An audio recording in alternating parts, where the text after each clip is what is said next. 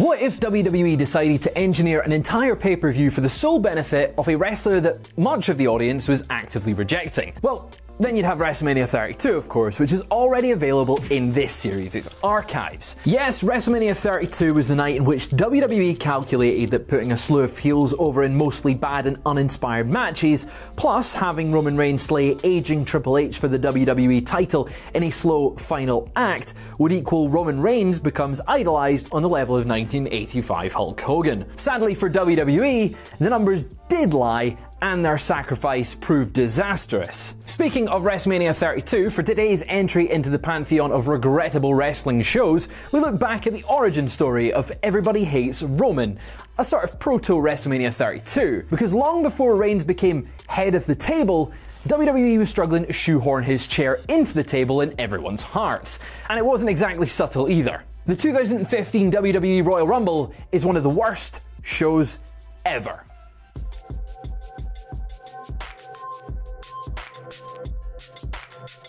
On January 26, 2014, in front of Dr. Britt Baker, DMD, and about 16,000 other spectators at the Royal Rumble in Pittsburgh, an unprecedented sequence of events was set into motion. It began when somebody in power, perhaps a suspiciously muscular old man with rage issues, though not necessarily Vince, decided to book one of the Guardians of the Galaxy to win the 30 man Rumble match. Now, this would have been fine if it were Groot, who at least has a catchphrase and can run the ropes better than Tyrus, but instead, WWE opted to put over Drax, played by Dave Batista, who hadn't been seen in WWE in about four years and had just turned up one day dressed like Pitbull. See, WWE had designs on running Batista versus Randy Orton at WrestleMania 30 to determine who was the worst wrestler of 2005. Unfortunately, though, this was 2014, more than five Saw movies later, and besides, Fans already had a new desired protagonist in Daniel Bryan, the leader of the still unofficial Yes movement. Long story short, the fans in Pittsburgh and beyond were outraged when WWE omitted Bryan from the Rumble match completely. They openly rejected Batista and showered the Rumble's final sequence with sustained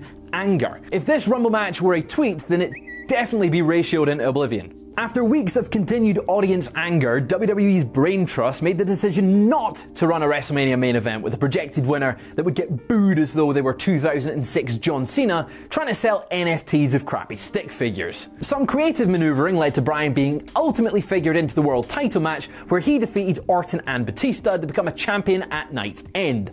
A feel good moment, but more importantly, a very wise booking decision. However, it came with a price. WWE had, in essence, told its audience that if they don't like the participants in a WrestleMania main event, if they just complain long enough and loudly enough, they might be able to get that main event changed. Because now, now there was a precedent. What are the odds that WWE would repeat their mistake by pushing another unwanted babyface into the WrestleMania title picture? After learning a valuable lesson on the road to WrestleMania 30, wouldn't WWE be more likely to check the temperature of the room going forward? And that brings us on to singles babyface Roman Reigns. What a time.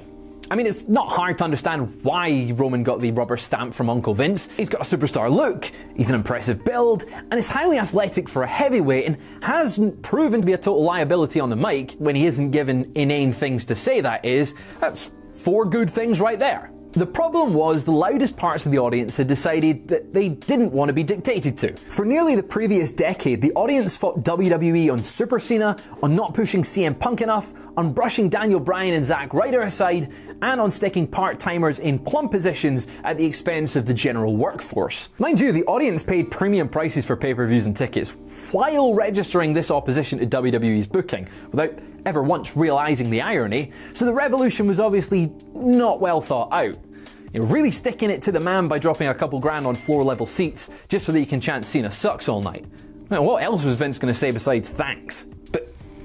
Getting back on track, by the autumn of 2014, many fans had decided they just weren't feeling Roman as the top good guy. And this was kind of odd because the Shield were incredibly over from pretty much the jump, and fans wholly accepted Dean Ambrose and Seth Rollins as prospective tippy top guys. Hell, there wasn't really any backlash against Roman until he went solo after the group disintegrated, and then suddenly everyone just decided, yeah, screw this guy in his flak jacket. It was so weird watching, say, Roman get booed out of the building at SummerSlam against Randy Orton because the big dog hadn't really done anything to inflame hatred among the crowd. Then came the promos, like the one where he vowed to use his Superman punch to make it rain in this bitch, or the Jack and the Beanstalk homage, or yes, suffering succotash, which in terms of credibility destroying might not quite surpass slapping Chris Rock after cameras initially catch you laughing at his joke but it's definitely a few streets over. If Roman Reigns were to sue WWE Creative for career malpractice, it'd be hard to blame him. At the time, however, this was the likely Rumble winner, and with that knowledge, tension knotted in the guts of many dedicated viewer. Could WWE actually put over the wrong guy two years in a row? But wait, Daniel Bryan, fresh from his many months away, has also declared for the Rumble.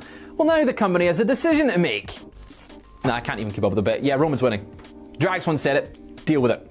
It's a field light on sensible choices for winner, as the only other viable picks are heavily pushed Bray Wyatt, extremely popular Dean Ambrose, momentum riding US champion Rusev, and the Survivor Series hero Dolph Ziggler, who really only enjoyed that big moment as a fill in because Roman was injured.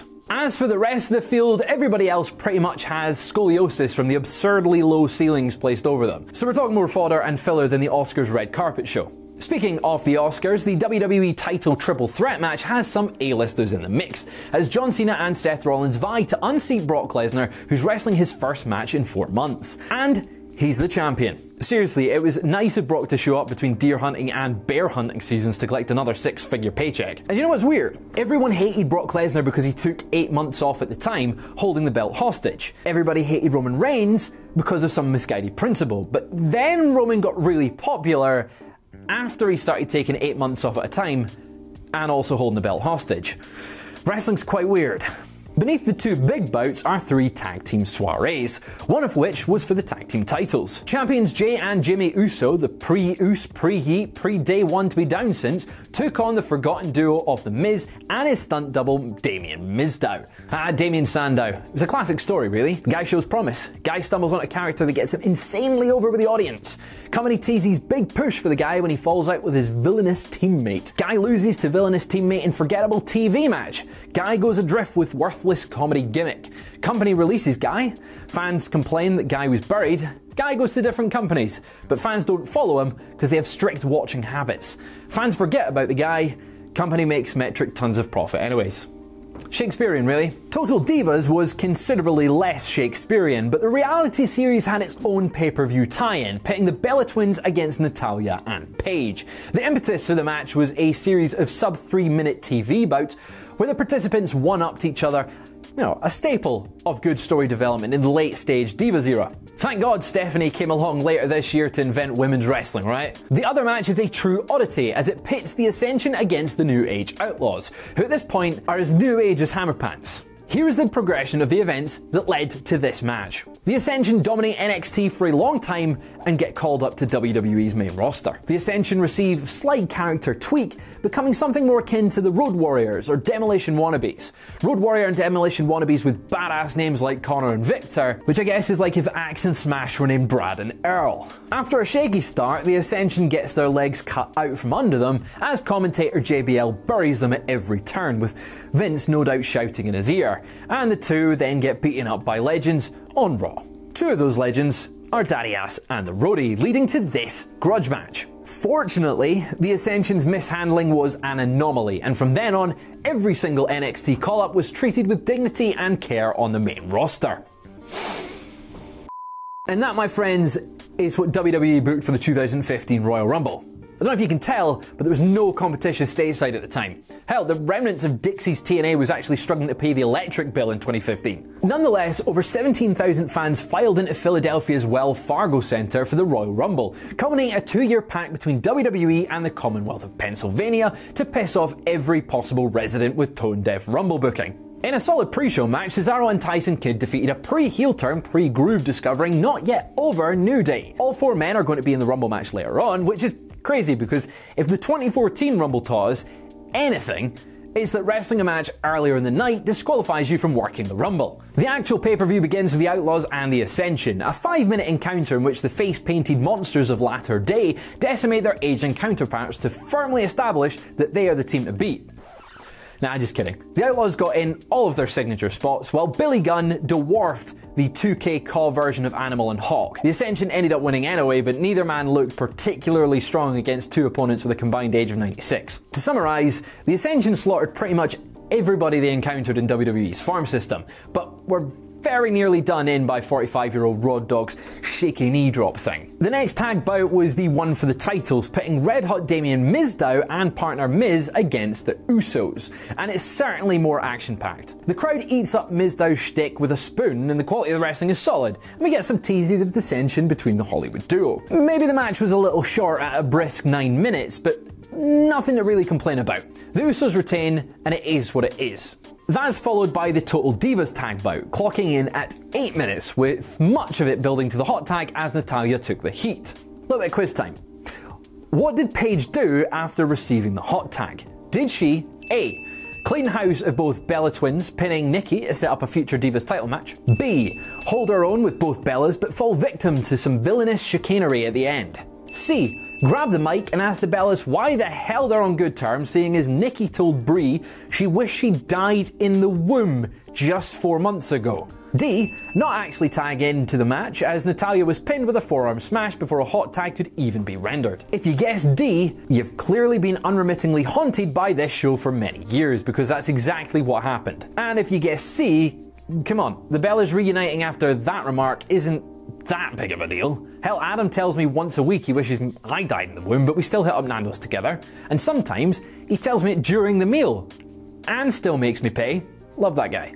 Speaking of delicious, there's nothing bad to say about the WWE title match between Lesnar, Cena, and Rollins. Objectively, it was probably WWE's best main roster match of 2015 and proved that still ascending Rollins belonged in the ring with two of WWE's promotional titans, especially after he busted out that Phoenix splash. This was just great. How about we take a look at Dave Meltzer's ratings for the first four pay per view bouts, just to get a little bit of a gauge here. The Ascensions versus the Outlaws got 1.25, the Usos versus the Mizzies equals 3, Bellas versus Natty and Paige get 1, and Brock, Cena, Seth 4.75. And it's a one match show, but what a match. I mean, I could go on longer about that match if need be, but I won't, because I need to save my energy for the Rumble itself, because it's gonna need a lot of dissection. But first, a little, um, Royal Rumble by the numbers. $773 million. That's what Guardians of the Galaxy brought in at the box office, so you won't find Batista here.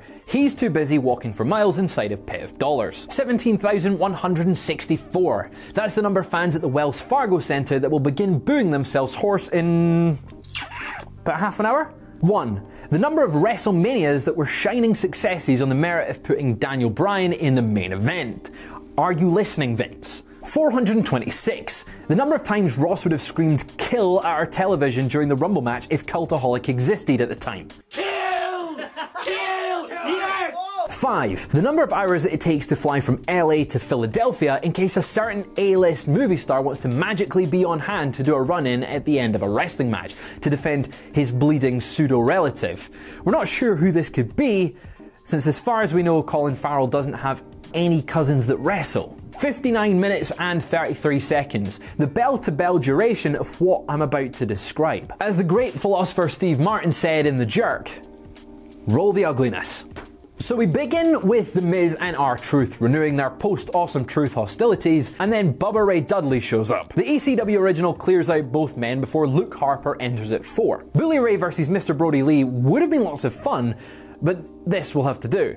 Bray Wyatt's fifth, and the family reunion ends Bubba's random comeback. Curtis Axel supposed to be at six, but Eric Rowan usurps his number and or soul to give us the proper Wyatt Trinity. But only momentarily, as Wyatt bounds both men out after an all too brief encounter that could have certainly gone on much longer. Wyatt then decimates the next three entrants Boogeyman, Sin Cara, and Zack Ryder in next to no time at all, and it's all pretty low energy at this point. Number 10, though, is Daniel Bryan, prompting the following reaction from the crowd. Yeah! Oh, he's not winning, is he? Nonetheless, Bryan and Wyatt have a lively sequence that gets intruded upon by mid-carders Fandango, Tyson Kidd, and Stardust. DDP hits the ring at 14 to lead the audience through the requisite breathing exercises they're going to need to get through the rest of the match, and Rusev's in at 15, and the ring starts emptying of all driftwood and Bryan. Watch this, Lise. You can actually pinpoint the second the audience's heart rips in half. But instead of brushing up on their George Washington script like Ralph did, the crowd dumps all over the match like a portaloo they don't have to keep clean. People from Publishers Clearinghouse could come out next with a $1 million prize for one audience member, and the winner would probably attack them with the giant check. Goldust is next. Shattered dreams indeed. We get Kofi and then Adam Rose, and then at 19, Danon, Danon, Danon, dun dun dun dun dun dun dun. It's Roman Reigns, and he couldn't be more hated if he personally took credit for writing the Emoji Movie. Genuinely, there's no saving this match. You know what? Let's just um, let's just fast forward to the end here. Big E, Mizdow, Heh, Swagger, Ryback, Shirtless Mayor, Mox, Titan. Oh no, he's gone. Barrett, Claudio, Big Show, Dolph, and I think that's 30? God, they're still booing. As the match pairs down, we come to an absolute masterstroke of spite. The long-stale Big Show and Kane begin condescendingly dumping out unconscious crowd favourites like Dolph, Wyatt, and Ambrose, just to really maximise the intense hatred radiating from the audience. Apparently, WWE believed this would make the audience go, well, help us, Romy 1, you're our only hope. Instead, the collective thought was, well, I hope Mike Chioda runs out and throws everybody out. Now, maybe if Roman initiated some cool action movie ass kicking sequence here to get both giants out, he might have got some reluctant respect from an audience already very committed to hating him. But instead, Kane and Big Show have mild dissension, and Roman simultaneously dumps them over at half the speed of Meander. Roman wins, lol, no refunds. Offended, Big Show and Kane tried to attack Roman, prompting a totally normal and obviously expected run in from The Rock, who was presumably in town checking out housing renovations to save the day. Instead of looking cool by osmosis next to The Rock, Roman looked like an attendee of an Attitude Era fantasy camp, hot nobbing with some bygone big names. Hang on, everybody's suddenly cheering. They've come to their senses and love Roman. No, wait, oh, they're, they're cheering Rusev. He wasn't actually eliminated. Then the cheers turned to boos when Roman threw him out. The Rumble concluded with the timeless visual of Bloodstash Roman having his hand raised while The Rock looked 50 shades of befuddled at his side. Meltzer gave the Rumble match one and three quarter stars, writing, From a creative booking standpoint, this was easily the worst Rumble ever. But how bad was it really? One, it was so bad that The Rock got booed. Two, it was so bad that outside the arena, angry fans actually harassed the wrestlers as they were leaving, refusing to let some of the vehicles pass, which isn't cool. And one moron even struck the Usos' car with a chair, prompting one of the Usos to exit the vehicle, which obviously sent the dumbass running. 3.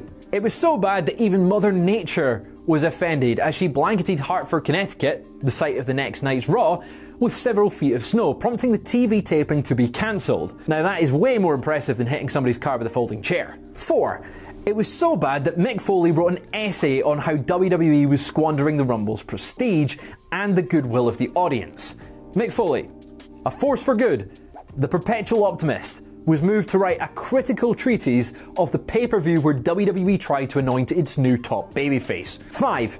It was so bad that cancelled WWE Network was top trending on Twitter. Days later, WWE announced that new subscribers would watch the network for free throughout February. None of this happened because of the middling undercard or the excellent WWE title match. This all happened because WWE went in the opposite direction of fan taste in the main event. And on top of that, the match in question sucked big time. Of course, WWE ultimately caved to the anti Reigns sentiment, putting over the briefcase toting Rollins in the main event of a strong WrestleMania 31. But until Plan B was enacted, there was a lot of hostility in the air. Poor Reigns couldn't win the crowd over in the interim two months, and it's unlikely he even stood a chance. Today, Reigns is much better regarded as the tribal chief version of him is one of WWE's better received characters and performers, frequent absences aside. It took a long time to get Reigns to where he was more widely accepted as a top guy because the stubborn booking before then did the man no favours at all. WWE has proven they will bend over backwards, contorting to absurd degrees to get their guy over, and there is perhaps no more glaring example of faith and confidence gone berserk